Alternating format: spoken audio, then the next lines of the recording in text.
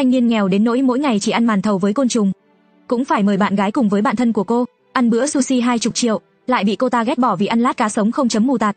Ngay tại chỗ đề nghị chia tay với anh, rồi ôm lấy bạn thân là con trai của cô ta, anh tức giận liền lao về phía xe buýt, bản thân đi đến một thế giới song song, đồng thời kích hoạt một hệ thống sim phải chết, có được cấp độ thần thánh thiên phú, nghe lén được tiếng nói từ đáy lòng của người khác, quà tặng là 200 tỷ tiền mặt, thêm một chiếc xe Ferrari SF90, thế là anh ngày hôm sau lái chiếc xe Ferrari một đường đến trường.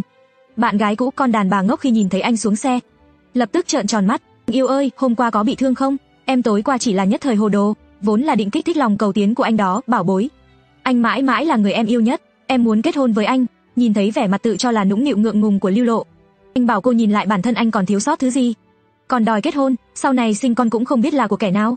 Lưu Lộ nức nở nói, đừng tức giận mà bảo bối, anh còn nhớ chứ, ám hiệu ước định ngày trước của chúng ta, nếu như em phạm phải sai lầm, chỉ cần em nói ra ám hiệu, bọn mình sẽ lập tức làm hòa. Anh cười hỏi, ám hiệu gì cơ? Ám hiệu là hô hô hô, bảo bối, hô hô hô, đừng tức giận mà, được không? Em sai rồi, anh trực tiếp nổi giận, hô chị cô chứ, miệng của cô bị lọt gió à, còn hô hô nữa tôi sẽ quạt vào mặt cô đó. Đám người hóng chuyện xung quanh đều bị chọc cười, lòng tự trọng của Lưu Lộ lập tức bị ném cho chó ăn.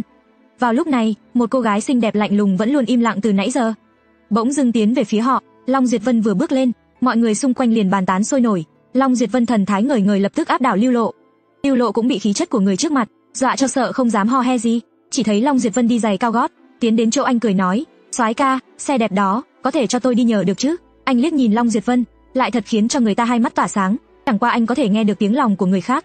Rất rõ ràng, cô gái Long Diệt Vân trước mặt cũng không tốt đẹp gì. Thế là anh mỉm cười trả lời, lên xe thì được thôi, mà trước tiên phải đưa tiền xe đã. Sau đó anh chỉ vào khuôn mặt của mình, ra hiệu hôn ở trên mặt, chuyện trắng trợn như vậy, khiến cho đám người hóng chuyện hô lên quá ngầu, thế mà lại dám trêu ghẹo nữ thần hoa khôi top 5 ở trước mặt mọi người. Điều này khiến cho mọi người đều kinh ngạc, Long Diệt Vân là cô gái có đẳng cấp, không có người đàn ông nào có thể chơi được cô ấy.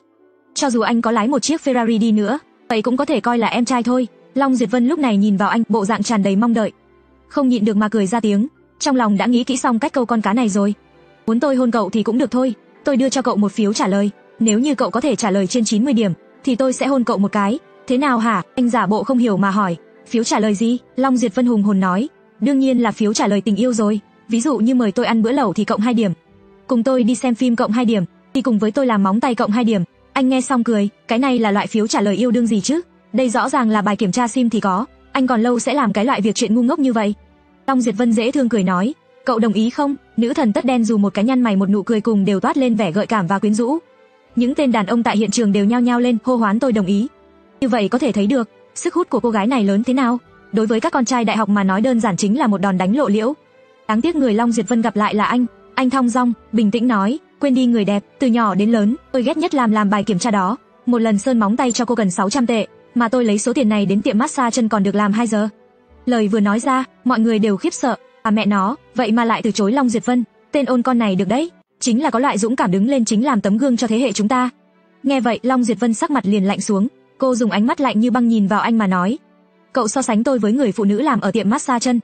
Anh lập tức vặn lại, cô đừng coi thường các cô ấy chứ, người ta là làm ngành dịch vụ, tôi tiêu tiền, bọn họ massage chân, so với cô còn mạnh hơn nhiều. Long Diệt Vân thực sự tức giận, cậu nói thêm câu nữa xem, anh nhìn không quen tật xấu của cô ta, thẳng thắn nói ra, tôi nói đều là lời thật lòng, tôi đi massage chân ở tiệm tốn 600 tệ, kỹ thuật viên xoa bóp chân tôi 2 giờ, tôi tiêu cho cô 600 tệ, đến ngay cả sợi tóc cũng không động được. Long Diệt Vân cả giận nói, tôi với bọn họ không giống nhau. Cười cười nói, đừng tự tin quá, thật ra lúc tắt đèn đều như nhau mà thôi.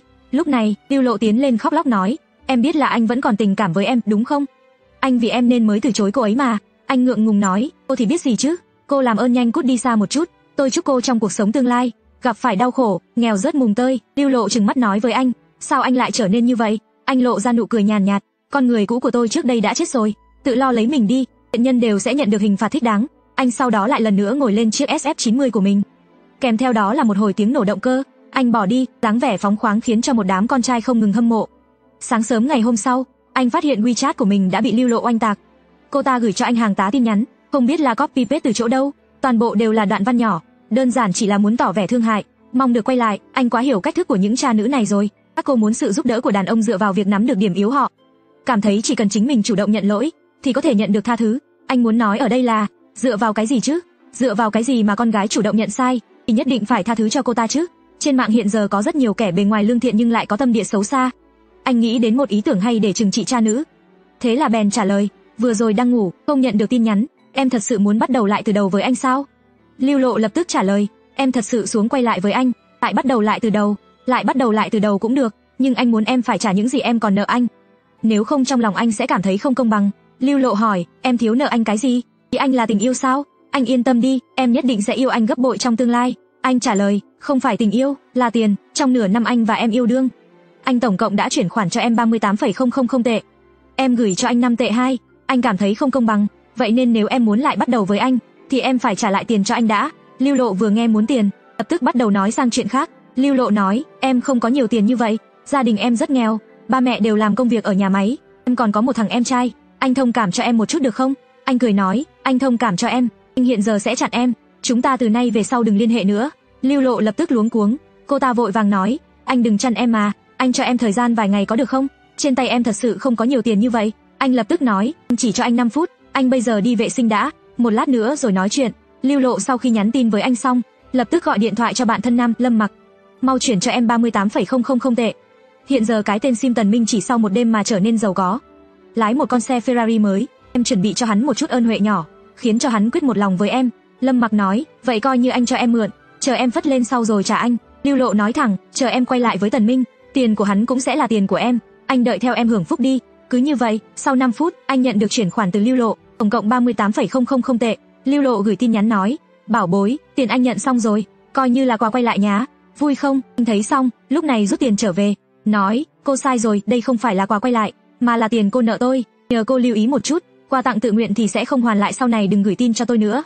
Lưu Lộ bất đắc dĩ vì để câu một con cá lớn, chỉ có thể thuận theo yêu cầu, mà anh lần này nhận tiền xong, lập tức chặn Lưu Lộ rồi xóa bỏ. Lưu Lộ lúc này lòng tràn đầy vui vẻ, cảm giác bản thân sẽ trở thành chủ xe của chiếc Ferrari cao quý rồi. Cũng vội vàng gõ chữ, anh lái xe đưa em đi hóng gió đi, em muốn chụp thật nhiều ảnh, nhưng mà điện thoại lại nhận được dấu chấm than màu đỏ. Anh vào đêm đó lần đầu tiên đã hô gọi, đám bạn cùng phòng không bao giờ bỏ rơi anh, tiêu phí một trận thật đã, bọn họ còn muốn chia đôi tiền với anh, khiến cho anh vô cùng cảm động, cũng cảm giác con trai quá thấp kém trong cái thế giới này.